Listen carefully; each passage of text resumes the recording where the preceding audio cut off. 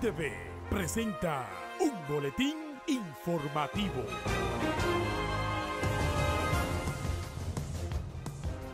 Hola, ¿qué tal amigos? El día permanecerá medio nublado, a nublado en ocasiones, con lluvias aisladas hacia las regiones noreste, norte, sureste y la cordillera central debido al transporte de campos nubosos asociado al viento del este-noreste, según informa la Oficina Nacional de Meteorología ONAMET.